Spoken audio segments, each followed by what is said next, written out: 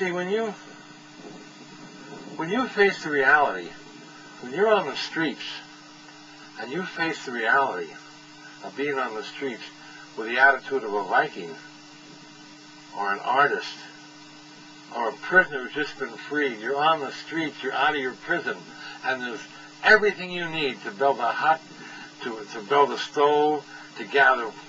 You're free on the street. Not to jacket, oh, poor me, I'm on the streets with everything I need on the street. I am on the streets, I'm on the road, and it's all mine. God has given me all of this to use. I can hold on to nothing. If I try to hold on to anything, my hands close up and I'm re- into restriction.